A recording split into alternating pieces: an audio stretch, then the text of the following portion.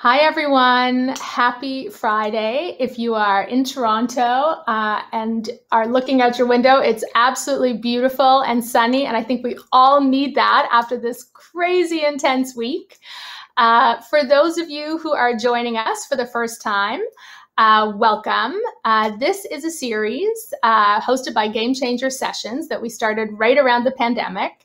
And it's focused on the future of learning. And what we wanted to do was bring together thought leaders, experts, entrepreneurs, next gen creators, investors who are all really, really passionate about and involved in where the future of learning is headed. And in this series, we've had amazing guests. We've had Jerry Colonna from Reboot. We've had David Perell, who's uh, got an amazing uh, live uh, writing school. We've had Seth Godin, we've had Shane Parrish, Matt Window from Lambda School, uh, Navid Nathoo from the Knowledge Society, and uh, just earlier this week we had Salim Ismail uh, from EXO. And these are all people who have very, very interesting views on what's happening. And this series is in partnership with a new live learning platform that we're building to really help cohort based live learning experiences happen more seamlessly, Mastermind. And so it's with such pleasure and a great honor that I introduce today's guest. Uh, today's guest is Rebecca Kaden. Rebecca is a managing partner at one of my favorite firms, Union Square Ventures. Rebecca um, is very passionate personally about the future of learning, which we'll definitely get into. And as a firm, USV is a thesis driven firm that uh, has a really interesting thesis on where uh, education and learning is headed. They've made some incredible investments in the space, and we'll get into all of that momentarily. So, um, thank you everyone for joining. Welcome, Rebecca. How are you doing today? Good. Thank you so much for having me.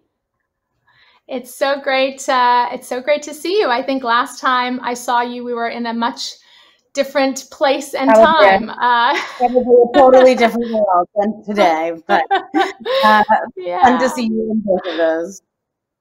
Totally. Um, well, what a week. I know it is like Friday afternoon of most probably the most historic week, uh, you know, right. in our lifetimes. And at least we are breathing, smiling, you know, yep. optimistically hoping. Um, so anyway, thank you. I know you've had a long week, but we're so excited to have you with us.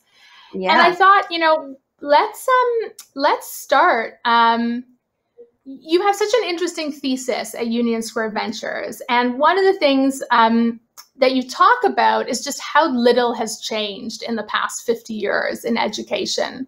Yep. And, you know, maybe you can talk a bit about that. You know, what have been your observations? Yeah, you know, I think um, our thesis in education really hinges on, on the idea that technology has fundamentally transformed almost all of the ways we live. If you think about mm-hmm.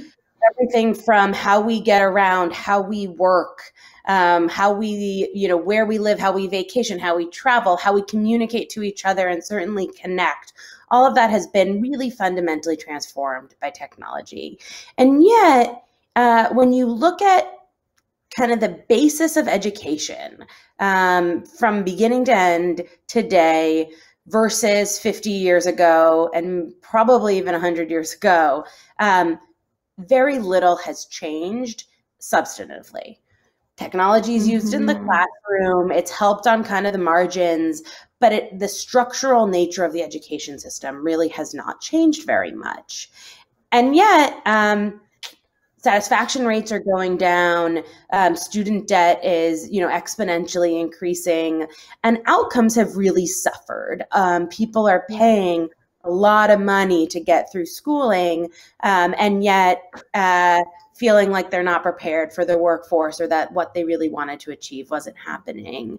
And so when we see that system we see something's going to break, right? Something's going to change. And technology should be a great lever in education, just as it's been in so many other sectors to broaden access, to drive up accessibility mm-hmm. in down interesting ways. And that's really formed kind of the basis of the investment thesis that we've operated on.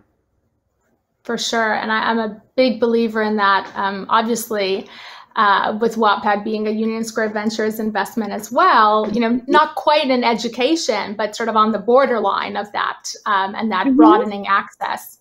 Um, what I'm interested in is actually you have a very personal connection to education. And what actually prompted me to reach out to you for the series was actually less about uh, Union Square Ventures and more about this beautifully penned article that your your late father wrote uh, in the New York Times, and you know oh, it was so interesting. It was it was called "Equalizing Education in Ju- New Jersey" by Lewis B. Kaden, 1976. You know he was yeah. thinking about this. Tell tell um, our community more. You know what was this about? What did he write about? Um, why does yeah. education matter?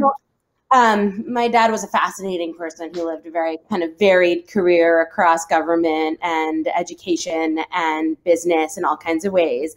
And he um, wrote this article and worked on this case in New Jersey um, when he was exactly the same age as I am and I didn't wow. find I didn't discover it until he passed away earlier this summer. And as you do in these things, you you know you Google and you try to kind of put pieces together. And I came across this article, which really fascinated me because, you know, what I did know is he had been working um, with the New Jersey government um, for the government for the governor there, and he he was lifelong passionate around providing access and creating um, equalizing democracy. And in education in New Jersey, the case was really about that the dollar amount given uh, you know allocated for each student's education should not depend on the district that they live in because it wildly favored certain economic areas over others and how the state could redistribute um, basically redistribute access and wealth and education. And the case had a very bumpy past of, you know, getting caught up in, in courts of all kinds. But at heart, it was about the same idea that we are tackling at USV from a technology angle and a venture angle, which is how do you broaden access to education? How do you create mm-hmm. systems and opportunities that are not based on you know the wealth you come in with or where you live but instead on personal passion and drive. Um, and it's it's fun to think about getting at that through different lenses both my dad's and, and my own. For sure. I mean I, I honestly get goosebumps when i read it and and we read that you know today when we're looking at the US sure. and we're looking at the impact of, you know, privilege and education and the lack of distribution and, you know, the fact that that is before I was born, you know, this was being written and uh, yeah. and seeing sort of the impact of it not having really changed all that much like your point is so on point which is literally just under 50 years ago this was written and yet you know yep. uh, so little has has changed. Um, just a really eerie and interesting comment from this article. Um, it says you know in 1970 kenneth robinson seven years old living in jersey city petitioned the courts to you know give him an equal education. And i had to look at that twice because I think it's by sheer coincidence, Sir Ken Robinson, which is the same name of this New Jersey boy. Um, you know, I was like, is this the Sir Ken Robinson? It's actually not. But no, no. Did you notice but, that? You know, where you know nonfiction can be as poetic as poetic as fiction kind of moments because that's that's true. It's just exactly. Um, well, I love that, and, and, it's very clear to me that you're very passionate about this. And so let's go like a little bit deeper into the USV thesis. I mean, this yeah. has been a 10-year thesis. It's not new, right? You guys made investments, you know, over the last decade. Um, yeah, absolutely. I'm really interested. I'm interested in how it's evolved, right? Like, what was it then, and now what is it today? Yeah, I think the most interesting thing about today's moment in time, right, is that there's a lot of attention being given to this thesis, largely because of COVID, and and you know, COVID has more, much more darkness than than lightness. But if if we can find any silver lining around necessary behavior change that can amplify or accelerate structural change, education may be one place that happens. So there's a lot of attention and eyeballs on it today. But yes, it's it's been something USV has been focused on for a long time. You know, I joined the firm a little over three years ago but my partners have been on this for for way longer than that you know three times as long um, and one thing i love about usv is actually each of the partners has an at least one investment in education this is a very much a shared passion and goal mm-hmm. that um, we think venture scale venture scale technology can really help this problem so the, the thesis started and has evolved and it has evolved around the same idea, which is that you're going to change the system from the outside in, so that we're not mm-hmm. interested in going through school districts, going through school systems, selling through channels. We think that products and platforms that go direct to the learner, that build mm-hmm. experiences that they love, that they enjoy, that they learn from, that are outcomes versus credential based, will create that kind of momentum and passion that can change a system versus selling into things and kind of going that clunky route. I think what's changed over time or evolved is probably a better word than changes. We started with investments in things like Duolingo, which is mm-hmm. a language learning, lifelong language learning app, a really, you know, was a very small company when USV led it, is now a very big multi multi billion dollar company, um, reaches millions of customers. This idea of productized learning to drive down costs throughout someone's life. Um, the you know some of the earlier investments also included Skillshare, lifelong learning in a marketplace format that allows this accessibility on being able to learn different things throughout your life. Um, Quizlet. Quizlet is a marketplace approach to um, study guides and aids to really help students in a cost accessible way achieve and help each other in this kind of marketplace model. Examples like this. Um, as it's gone on, we've gotten closer and closer to going at the heart of the problem, which is a school itself, right? And, and we think right. both are interesting everything from K 12 through lifelong and everything from core education to supplemental but the meatiest thing may be core, right? Um, versus supplemental. And so maybe a, two years ago, we invested in a business called OutSchool, which is live mm-hmm. online learning. Um, another marketplace model, a very interesting company because it empowers both students and families and also teachers. Teachers are able to offer classes on this platform directly to families and students and you know see really meaningful income when they gain speed that you know makes them really powerful in that ecosystem and students at a very accessible price are allowed to follow interests in new ways learn about things that may not be offered in their school district or available in their area you know and and they make it really fun spanish through taylor swift songs and calculus through dungeons and dragons and also french one you know and so there's kind of this variety and something for everyone and so that was kind of a little bit closer and then most recently um, we invested in a quite early seed company called sora schools and sora schools yeah. is an online high school a networked totally. approach school and so you can see us kind of narrowing the filter closer and closer to kind of going straight at can a technology approach really change fundamental education? So, so interesting. And I'd love to go deeper in both of these because I think you hit a couple key points, you know, that certainly I believe and, and sort of we're, we believe at Mastermind as well, which is um, this shift towards live learning you know, as a as a fundamental shift of like the difference between 10 years ago pre-recorded, you know, digital experiences versus live learning. And I wonder if you can talk to that. You know, is that a big part of your thesis? And, you know, what what do you think about Zoom as the, you know, platform that all of that's going to happen on versus a more broad um, opportunity beyond Zoom? I think live online learning is super interesting. I mean, one because we've definitely seen through businesses like OutSchool the the momentum in them. I think the appeal of a business like OutSchool that offers synchronous learning um, is it accomplishes multiple things. For parents, it accomplishes um, time, right? So yeah. some of what parents do are try to find things to do with their kids' time, and totally. a live class is one of them. Um, that's just a fact of reality. It also accomplishes um, experiential learning, learning together. So mm-hmm. learning is content, but it's also experience, and it kind of meets those things in the middle. Whereas um, some of online learning has only met one or the other. And so we've been interested in the intersection of both. And, you know, I think live online does that. It also provides community for kids. I mean, there are really interesting um, stories about Outschool during the pandemic. And one of them that I love is I was actually talking to a friend of mine who had a, I think, an 11 year old son. And he was saying, you know, he signed him up for this creative writing Outschool class while his school was was um, remote. And his son had really been struggling through COVID. He had experienced a lot of anxiety.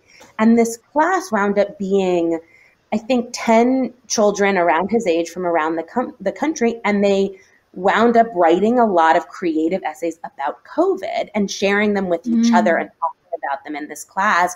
And he said, you know, more than any other strategy they've tried, that method of community of kids that his son could talk to and come together with around the country going through something similar through this education experience was the most helpful thing he did. And I just thought that was so interesting and powerful because it's completely a side effect of a learning platform. It wasn't, you know, that's not Outschool's mission. The intention. It, yeah. Yeah. It's a really interesting side effect. And so all of that, you know, you can't develop the same kind of community feel to learning without the live online. So I think there's a big part of it um, that it's helpful. I just don't. I don't think it's the only way. I think what's exciting about this era of learning is it can combine lots of different strategies. Um, you know, mm-hmm. something that we say about Sora, you know, we wrote about in the last investment we did is that, you know, one of the issues with school is that it, you know, pu- public school in America works for a lot of kids. It's it's a really good system, right? Like it's been honed over many years and passionate people work on it and we don't want to discredit that. It's a good system. It just doesn't work for all kids. And so it leaves a big chunk of people saying, you know, I'm not made for school, when the reality is that school wasn't made for them and isn't shouldn't right. be the only option for them.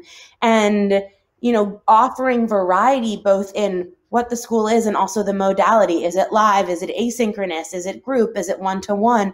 Is it a lot of pieces put together so everyone's learning journey may look a little bit different depending on who they are? Is something that these technology companies can provide. So I think live online is one modality. I don't think it's the only one. You know, Zoom as an underlying technology, I think, has been great. It's it's allowed companies to jump a curve that would totally. be very build themselves it also won't be the only one, but I think it's been totally. a very useful tool. yeah, I love what you're saying because I think um, you know school isn't designed for them versus you're not designed for school is a, is a super important thesis, right? That there's going to be so many different kinds of experiences. Um, and the other point that certainly you know I believe and, and sort of what we've witnessed is this notion of community, especially when you're socially isolated you know the, totally. the, the priority the importance of that is like 10x what you know we even thought it would need to be right? And that's the same right. for like remote work. Um, and so you know live learning cohort based live learning experiences um, that's kind of the, a really interesting thing that feels like very uh, new and relevant. Yeah yeah I mean, absolutely. clear, one thing we're we want to be very clear we're not saying is that we don't think schools are important. We think schools are wildly important. Yeah. And one reason they are important is because childcare is essential. And yeah. schools do more than that, but that is a significant part of it. And childcare has to do with a place parents can send their kids for the day, but it also has to do with kids being around other kids and learning the interactions of social life. Yeah. And so that can be expressed in different ways, but is an important thing to consider about education.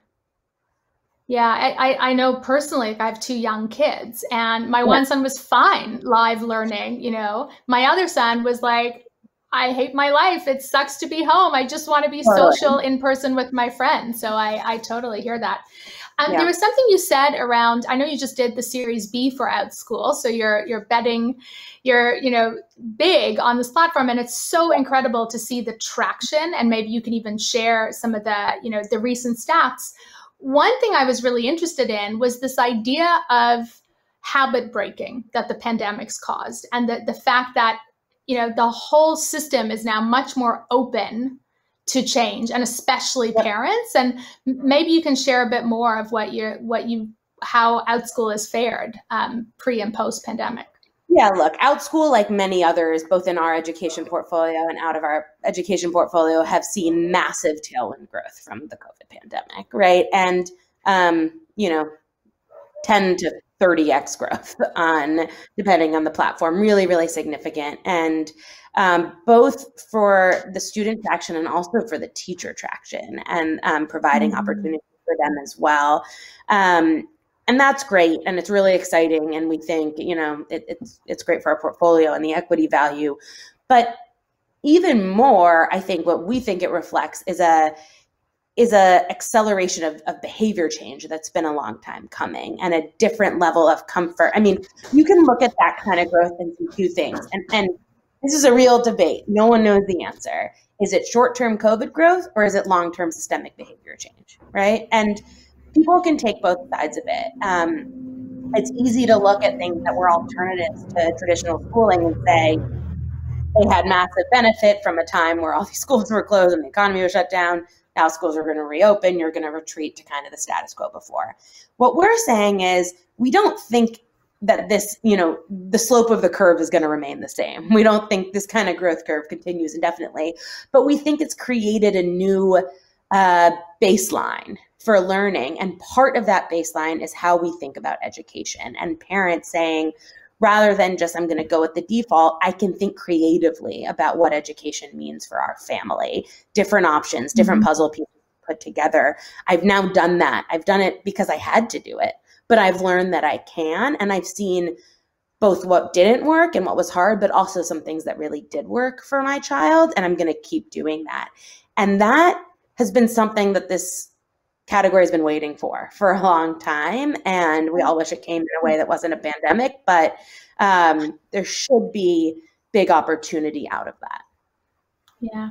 I, I think you say something so interesting which is that idea of agency you know that i actually ha- like i have the ability to do something about a system yeah. that hasn't changed for 50 years versus um, just kind of take what i've been doing forever and it's like necessity right. is the mother of all invention you know um, yeah. just a personal anecdote um, I, I, I, think you know this, but I, I, I you may not. So um, I've chatted so many times with Albert, who's also super interested in education, and um, it was actually many years ago, like four years ago, that I went to his house in New York, and he, he has a really interesting personal way he's educating his kids. He's homeschooling them, passion driven, and um, I came back and sat in my grade two son's, you know, class and was just dismally disappointed uh, by, you know, a very institutional system. Uh, and it led me to creating this very, very micro, small, passion based learning curriculum for like kids in my neighborhood and a couple, mm-hmm. and it mm-hmm. was really for all ages. And what's been so fascinating is the timing is everything because system like that, like a school like that, is super hard to scale in person. Well, um, now they're a but scaling. It, well, that's the point, you know, is now yeah. like the Soras of the world and, you know, yeah. our little or school get curious now. Yeah. Yeah. You know, it's possible in a different, in a different context. And, you know, I'm, yeah, I'm really curious. Yeah. Um, I'm really curious for you when you think about um, uh, an Outschool, for example, and you think about the the accessibility side of it, you know, one of the things is the course the classes add up, right? Like it's not exactly it's not cheap, especially if your alternative is public. How do you think about monetizing school and sort of the the outcomes based agenda versus the VC investor agenda around yeah. you know mon- monetization that would be really interesting well, I think a couple of things here. First of all, platform like OutSchool is really designed around supplemental learning. They have a core, they have one core customer base that are generally homeschoolers. Um, mm-hmm. If you take their customer base, you split them into two. One is what we call traditional schoolers, which just means you go to any school, you're not homeschooled, right? And for them, um, much of this is supplemental learning. And so the alternative is is not free public school. It's either private tutoring, local offline kind of, you know, supplemental classes, mm-hmm. not doing it at all. And so not being able to access this kind of thing. And so it's still a cost trade off, but it's a little bit of a different cost trade off. Um, there are other programs like a Sora, right, where mm-hmm. families are paying for school where otherwise they may not be. They'd be going to private school. And this is something we've thought a lot about. Right now, basically, in America, schooling works in if you take out parochial school and the religious schools, right? That's kind of its own bucket. But if you take that out, sure. schooling works in basically two ways public school, which is free, and it's not totally free because there's costs associated with it that you have to bucket sure. in and things like that. But let's put it as kind of free or private school, which is often wildly expensive, right? And so one thing we've thought a lot about is will families and mass market families, you know, the M- America families, not top 1% coastal families, um, mm-hmm. willing to to allocate an amount of capital that is neither zero nor private school tuition towards education to give them a third bucket and a third option when private school is either not appealing or inaccessible, but public school isn't working for their kids. And that's really what Sora is saying. Um, mm-hmm. You know, Sora is call it $5,000 a family a year. And so it's, it's not free. Like that's a real amount of money, but it's not $40,000 a year. Right. Um, where, and so that's one bet. Is there kind of a third option um, for families? But I think part of that is the belief that over time you drive it down. And this is the idea yeah. of changing the system from the outside in. Over time, there's a very high probability, and some programs have shown this, that you'll be able to get these kind of programs covered through charters and public schools, right? That state mm-hmm. budgets will pay for them as options. But the only way to do that is to show the demand from the students. And so part of totally. this strategy is to back into that. And there are companies that are doing that more directly. You know, when you were talking about the kind of micro school you built in your neighborhood several years ago, there's a company called Prenda. We're, we're not current investors in it, but it's one we admire. And they're scaling a, a micro school strategy totally. in person schools throughout the country, but they've started in um, Arizona and Colorado, um, and they're they're licensed as digital. Um, we're not investors, so I, I might get this wrong, but it's something like digital charter schools. But anyway, it's free for the students. It counts mm-hmm. as part of public school, even the modality so cool. is different as a venture backed company. So I think the the whole category requires like a bit of creative thinking to it and and kind of weaving through this as it goes. I love that. So I'm I'm actually really interested in um, what are your thoughts on creator-led schools? So, for example, you know David Perell is a get was a guest on our show. He runs the most phenomenal writing school. He does two cohorts, 50 people, live synchronous learning experiences. Do you think that's going to be a big theme or trend in the future? That people like the Seth Godin, Shane Parrish, David Perell's, you know, and, and also the long tail of creators are going to want to have their own, mm-hmm. you know, virtual schools. Yeah, and and that is kind of a totally different section of learning. Right now we're in kind of lifelong learning, and that's one that really excites sure. us. We've we've done several things in it, both vertical based like a Duolingo, and also or a Codecademy, um, and more mm-hmm. horizontal based like a Skillshare. Um, and so I'm a big believer that instead of looking at learning in these kind of designated um, certificate driven buckets in our lives, we're going to look at it as much more horizontal and ongoing that when things pique our curiosity, um, we can learn about them and we can learn about them through experts, um, through people like that you mentioned that have real expertise in spaces and make that accessible.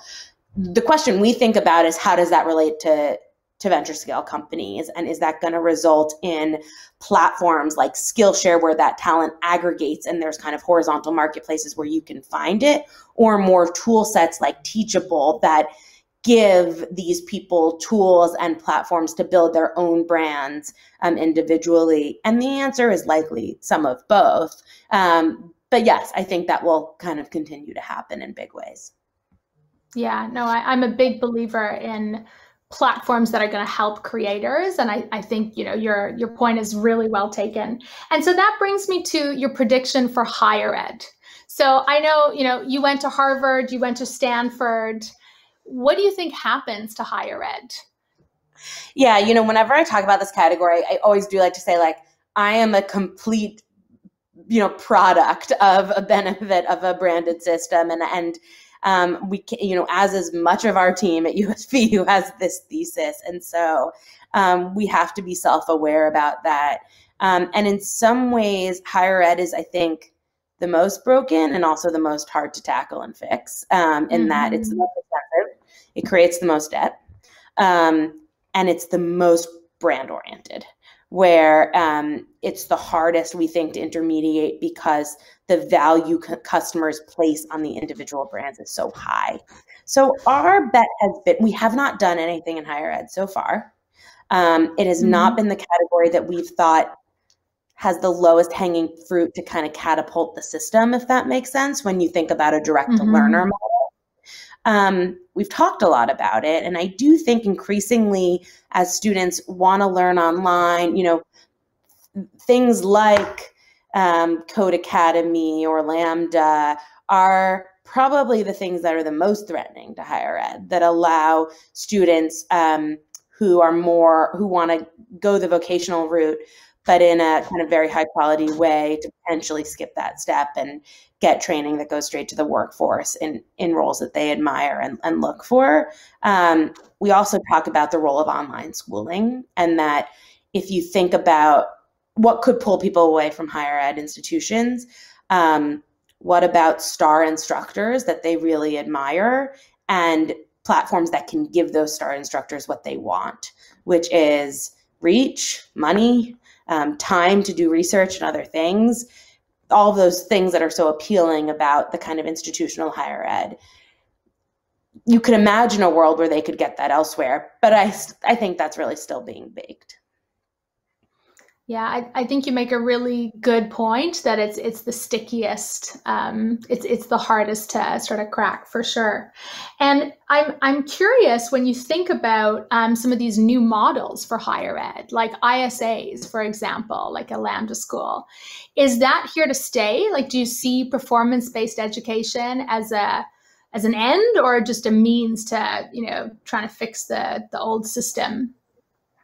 I think it will be an option we've always been believers that ISAs are a financial tool versus a business in and of itself. So they may have a role in platforms and a way for certain students to finance education that's a good one for them. It's probably not a good one for everyone. You know, right now ISAs are not super regulated. My bet, and I have no, this is a hypothesis, it's not a based mm-hmm. claim. My bet is sooner or later they'll be regulated as lenders um, because in effect they are lending. And so, mm-hmm. and they're not mm-hmm. regulated lenders right now. And once that happens, that will change the economics of them and kind of how they work. And so I think there's still a story being written, but I but again, I think even as the tool set evolves, there'll be a role for them. I just think you'll need a lot of options so that it's not a one size fits all model. That's, in general, in education, I, I think that's our main thesis it, it cannot be a one size fits all. There's lots. Um, I, I, think, but I think that's really we're all human. There's so many different humans in the world. You know, how right. can it be? It's sort of your your point. Um, what one thing I'm I'm really curious on is you said it's not where you see the lowest hanging fruit in terms of this this next uh, you know explosion of innovation. What are those areas that you see more low hanging fruit um, for entrepreneurs? Uh, to be tackling right now? What are some of the pain points that you think are like really specific to be solved? I don't know if these are the lowest hanging fruit. I, I, guess they're the ones that we're we are really interested in or, or spending a lot of time in. Um, definitely, there's a lot in that lifelong learning category. People wanting to engage and learn throughout their lives and what that means and how they'll find that accessible um, especially productized learning, that Duolingo like model that really can drive down cost and create accessibility to learning in new ways. That's definitely one. I think another is social learning. um, how learning online can be social. And we've seen a bunch of stuff there and that continues to interest us. We know people want to engage and belong in online communities. We know people want to learn together. We know that one of the biggest learning, you know, platforms right now is TikTok, right? Like, and that's interesting to us, right? That there's this mm-hmm. intersection of social learning and does that just get more and more integrated into one or actually are there learnings there that breaks it out into its own platform and how does that look and so we've been spending a fair amount of time engaged with that category can you for the people who are not as familiar with the learning that's happening on tiktok what's happening there? What what are you witnessing or, yeah, or I mean, exploring? well, for one, so TikTok, you know, which spun out of ByteDance in China, originally really started as a learning and education platform before it went deeper into a social platform. And so what you're seeing is stars rise up that teach things in fun and entertaining ways, right? And we think a lot about um, constraints that, that breed creativity, and that's one. If you have to you know, um, mold your format to a TikTok format that's going to get great engagement, but you have to teach something in that what do you do? That's a cool constraint because what you find is that people mm. are figuring out if you go on TikTok and search, you know, a question about science or math, you'll see these amazing creative videos that are teaching these core, you know, topics in really fun and interesting ways. And they're not the only one. There's learning specific platforms doing that as well, like Mystery Science and others. Mm-hmm. Um, but I think that's really interesting to think about, you know, does that train a behavior around learning and what's the opportunity there. You know, I think there's another one around how do you learn together and how do you make learning interactive and low stress for students and fun. There's a very early stage social learning company called Fiveable, started by this amazing woman who was a teacher and just realized like her kids were getting stuck when she just live streamed herself talking to them really casually and kind of laying it out, they totally got it and they relaxed and they absorbed the information. And she's trying to kind of scale that idea as a platform with teachers. And it's really cool. Um, so I think all of those things are, are really interesting to us right now. Yeah.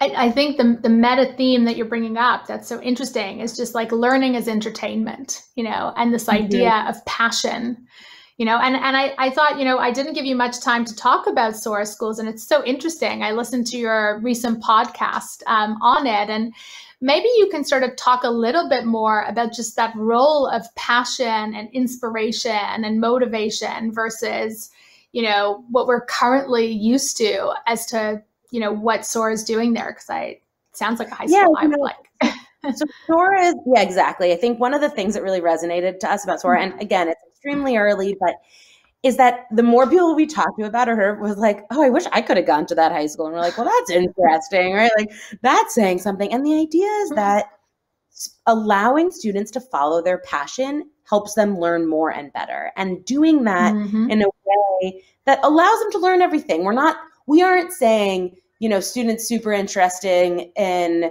computer science shouldn't have to, you know, learn the humanities. But they should be allowed, or if they would like to, if the families would like to, there should be an avenue for them to be allowed to, to pull on the threads that interest them and do it in a kind of project apply driven way and be supported in that and also be taught humanities in a way that fits into that broader picture. But in order to do that, everyone's learning journey would look different. When you're in a school mm-hmm. that structures everyone in classes that look the same, you can't do that. You can't let those right. threads be told. So you'd have to change the system. And that's really what Sora is trying to do build this kind of flexible online platform that cohorts students so there's a sense of community, but allows each of them to develop their own learning journey where they really pull the threads on what's interesting. And when you dive into what even in the very early days is happening there, it's it's amazing. You have students, you know, building things and learning about things and deciding they're interested in something and really learning what that means. And something that excites us about that is that's something you're going to do through your whole life, right? Like that's, right. you know, long after kind of structured schooling is done, the ability and the know how of how to develop a curiosity and go after it is a core life skill. And so we think that gives students kind of a leg up. Um, so that's part of what interested us there. Yeah, it's super interesting. I'm, I'm really excited uh, about what they're doing, which is great. So we're getting close to the time where I'm going to uh, open this up for questions. And just a reminder to everybody on the call, please ask questions. We got a bunch of really good ones here. Um, but before we do that, I want to actually sort of bring this full circle back to this week and this election, and you mm-hmm. know, really. Um, just I think you know, especially as a Canadian, right, who's sitting like in a different place uh, and a different construct around education. Talk to me about you know your highest hope in the next like five years. Like, what does education? What happens in the country around education? What do you? What's the your highest dream for where we want to go? Look, I think our highest dream, and I think five years is probably realistically too short of a of a timetable to expect it in, is there's a um, flexibility and personalization that technology can provide that's integrated into what education means. And so you allow technology to impact a, a currently overall one size fits all system and introduce the flexibility that creates better outcomes, more joy, more accessibility, um, higher quality to a farther reaching group of people um, in new ways through a whole host of different products and platforms. That's going to take time. It's really hard to change an old structured system, but I think we're starting to see the beginnings of that happen. For sure. Thank you. I, I am super inspired by that. So let's um let's get into the last question, which I know lots of entrepreneurs and, and people who are in the tech ecosystem in Toronto are listening. Um, what do you look for, you know, from entrepreneurs who are, you know, building learning platforms? Like how do you how do you evaluate who you're investing in right now? What what are the the key things you're looking for? Sure. I mean, I'd answer that in two ways. One is specific to learning, and one's just general for for us overall. You know, specific to learning. This is a category where we're actually relatively narrow, and we touched on some already. Um, there's going to be a lot of businesses built in learning, and many of them will hopefully be great. Only some of them are a fit for us. We are looking for things that are direct to learners who are not going through channels um, mm-hmm. that fundamentally provide accessibility and broaden access. So there's an opportunity in them to drive down cost and to um, expand access, make something available to more people that was previously available to fewer. Um, and we particularly are looking for something that has an underlying network effect to it, uh, where mm-hmm. there's a mm-hmm. bottom up mechanism. So um, if you're building a learning platform that kind of hits on those, it's much more likely to be a fit for us than some of the other ones there the more general answer is, you know, we're specifically focused on kind of seed and Series A. Um, generally, once there's a product built, um, usually with some, you know, even the beginning amount of, of consumer trial and traction so we can understand kind of how it works in the wild. Um, and then opportunistically, we'll go later as well. We have an opportunity fund, so we'll do things later. But kind of seed and Series A are, are the core of our business. And we look for entrepreneurs that are, you know, wildly passionate that are excellent storytellers because we believe you're going to have to tell this story in, in a convincing way to lots of constituents over the course of a company's life um, that are you know talent magnets and very focused on recruiting great teams around them. Um, we tend to gravitate towards very product driven founders. Mm-hmm. you know, for me in early days it's as much about you know probably more so about the people building than about the ideas and the, and the theme that they're building around so great. Well, as as somebody who's been a part of your portfolio uh, from Wattpad, I, I only have amazing things to say about um, you. guys. So that's great. So we have some amazing questions. Um, so I'm going to head right there. Uh, Tatiana Feldman, Rebecca, I'd love to know if you guys think about starting the journey even earlier in that zero to five stage or direct to parent segment. Are you thinking about you know Sora style journeys in early childhood and um, what are you seeing yeah, so um, we've spent a bunch of time in this category. I, I have a two-year-old and another one on the way, so it's definitely relevant to me and, and, something I think about. Thank you. Um, the thing that we've st- struggled a little bit with here is probably two things, and, and people who feel like they're cracking the code, we always want to hear. The reality is, in those days, much of it is about childcare and much of that needs to be a physical presence. And so many of those models hinge on physical um, businesses and, and, physical locations. And, and as a very technology centric network based firm, many of those are not a fit for us. So we've we've been mm-hmm. we haven't yet found the intersection of that category with us since since that's very child care based. Um, the other answer is the the willingness to pay their parents and we really do want something that broadens access. And so what the cost dynamics are in that category we're still cracking but interested in seeing things that that may push our thinking on that. Super helpful. Um, thank you. So um, rika asked um, can you talk a little bit more about productizing learnings so or productizing learning. So i think more in the duolingo you know comment that you made. What yeah. what do you mean by that? Can you explain? Sure yeah and we've done several things in this category. One is duolingo another one i'm not 100% sure it's announced so i, I won't say it but it's around a similar idea in math and science. Um, the idea is that when when learning can be done through technology product or platform versus through human to human interaction you can affect cost in a totally different way. And we sure. never think that's going to be 100% of a learning journey, right? Like humans have a big interaction in that. But are there pieces, and, and Duolingo is probably the one we have the most experience in, where it is an effective way to learn a language and it is not human to human, right? The product you're learning from on Duolingo is mm-hmm. technology, um, it's product and AI. And so, um, are there you know when that can be applied you can give it for free you can give it very low cost in a way that you never can where you're paying someone else on the other side and so we're curious where that can apply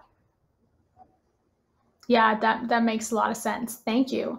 Um, so Agustina asks, um, my question is um, more around the decision process. I think you answered a lot of this, but I'll just ask, you know, one slight version of it, which is, you know, how you select ed tech firms, but specifically around metrics. You know, are there specific metrics you're looking for, you know, at seed and at series A so that um, you know, entrepreneurs on the call could could better be positioned? Yeah. I, I, I, always completely understand why this question is asked, and I always feel a little bit bad giving an un, unsatisfying answer because the answer is is no. There aren't. We don't have Series A benchmark metrics where when companies hit, you know, X dollars of revenue right. or X rate, you know, it's a fit for us. Though, well, trust me, we all wish we did. It would be easier on all sides. What I would say is, particularly in learning, the, the category that matters most to us is engagement. That we believe mm-hmm. that if, if, particularly in direct to learning, direct to learner models, if you can show that learners love what you're building, that they're engaging with it, that they're coming back, that their rate of engagement is increasing over time, we are comfortable making the bet that you will find more of those learners. Um, so that's probably the area of metrics we dig in on the most when looking at these businesses. Yeah, makes a ton of sense. Um, great. Uh, so Ron Nakagawa uh, said, great question. He asked, what role should government play in changing and transforming education? Um, how do you see the role of, you know, government moving forward? Yeah, look, I think government has a giant role in education. Education is incredible because it's much of it is free, and um, that's an amazing thing. And and um, you know, I think this is a sphere. Some of the meatiest and most interesting spheres right now are also the hardest, where regulation and government and technology and innovation really have to work hand in hand and have to play off of each other. And that's not something that has a ton of history and happening. And so it's hard, but we think it's possible. But part of this thesis around going direct to learner is we think it's going to be easier when you do it from the outside in, that going through the government entities, through the regulated districts right away is just harder. Whereas if you can prove the demand and the effects, the outcomes, um, it's going to be easier to change systems like government. Government's a very powerful force, but we also know it's, it's a slow one. It's it's challenging to change. It's the definition of bureaucracy. Um, and you know we're, we're seeing that in action literally as we speak um, and so i'm optimistic that you know and, and government here is also really complicated um, there's mm-hmm. a lot of differences in them state to state. There's a lot of union entities. There's just a lot there. And so um, we think over time that has to work hand in hand, but you're going to jumpstart it by going direct to learner. Awesome. So I there's a you know one or two more questions, and then I will let everybody go by just before the hour because I know it's Friday afternoon after the most intense intense week. Um, one more question is really around the role of globalization and the impact of people being able to learn from anywhere. Um, what what are your thoughts on how globalization is going to impact society and, and learning? Yeah, this is something we're actually particularly interested in. And I think it's one of those categories that's actually still quite nascent. Education has been very siloed, right? In a world mm-hmm. that's becoming increasingly global where people are moving around increasingly more where you know people feel less tied to to where they live and this idea of kind of um, citizens of the world is you know becoming more and more popular outside of covid times um, you know, education is still very localized. And largely it's because most of it's been defined as in person learning, right? Where if you have to show up every day at a public school in your town, there's a constraint on what that means. When you start losing some of those constraints, you create a lot of opportunity it has complexity, right? If you believe some learning is going to be synchronous, there's time zone issues, there's language issues, there's all kinds of things. But we believe all of those constraints are also opportunity to have people learn from people totally different than themselves or, you know, be able to access new ideas in different ways. Um, in Sora in particular, it sees a lot of interest globally. And we think that will be really cool, um, really interesting for the students to be able to learn together but there's logistics to figure out to it. So we're quite interested in how how learning becomes global, but um, I think that's one where it's still quite early days. Awesome. Super interesting. And the last one is really, you know, there's a saying strong opinions loosely held. What is, you know, what are three strong opinions you have? You can loosely hold them about education that you haven't shared yet with us uh, today. Ooh. Man, um, all of our opinions are loosely held and will change, you know, very quickly over time. Um, what are I mean? I think we've we've talked about the biggest ones. I think you know the share shift that learning becomes less of a homogeneous journey and more of a um, heterogeneous one that combines different products and platforms put together.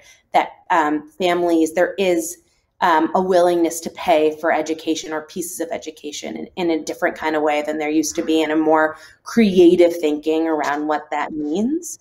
Um, I think one we haven't talked about is that um, the role of teachers and the role of practitioners might go hand in hand at a much earlier age. We think about that a lot in kind of graduate level learning or top university level learning, but you know, Sora and others are experimenting with that through much earlier education and seeing powerful results. And so that's something that's interesting to us as well.